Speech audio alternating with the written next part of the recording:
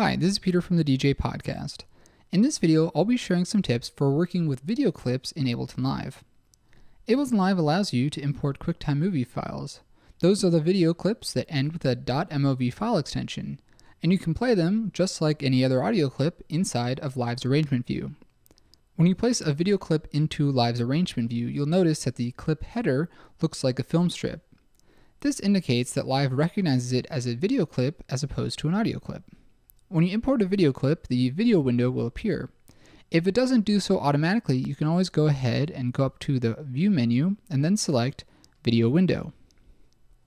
This floating window will appear above Ableton Live's interface for as long as you have it open. You can resize it by clicking and dragging on the corner, and you can put it into full screen mode by double clicking on it. This is great if you have a second monitor and you're composing a track to the video that you have, or if you're just trying to incorporate visuals into your live performance and you're using a projector hooked up to your laptop. To exit the full screen mode, simply double click on the video window again. Editing video clips works very much the same way as editing an audio file.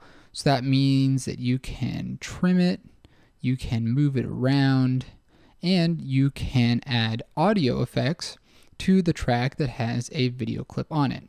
So for example, if I wanted to add a compressor, I could simply go and add it to this channel here, which has a video clip, and it would affect the sound that I have embedded in that video file.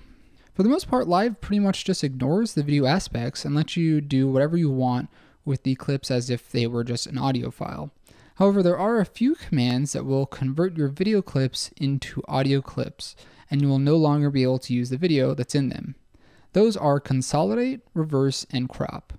It's important to note that Ableton Live is not a program like Resolume that allows you to do any video mixing.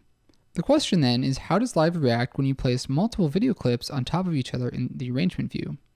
And the answer is that Live will always display the video in the lowest audio track. So you can see that I have two different clips on my arrangement view, one in channel 1 and one in channel 2.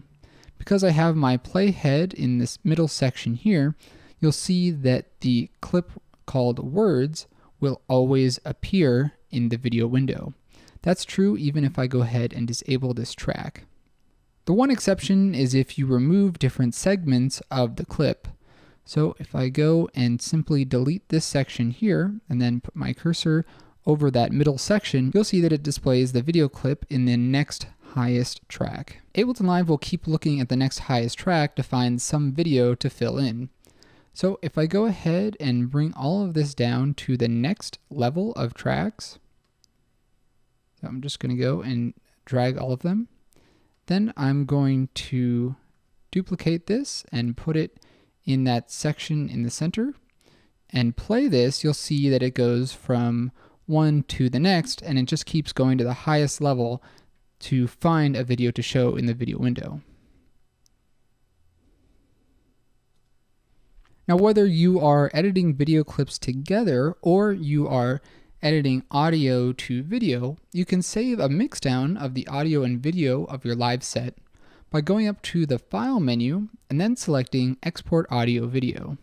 If you want to export the video with the audio, you're going to want to make sure that you select this option, Create Video File. Underneath, you have the option of a video encoder, and you have the encoder settings by clicking on the edit button. And depending on what operating system and what video codecs you have installed on your computer, you're going to be given different options. When you're ready, simply click the button OK at the bottom. If you want to play around with video clips in Ableton Live, click on the link in the video description below and download the video clips that I used in this video tutorial.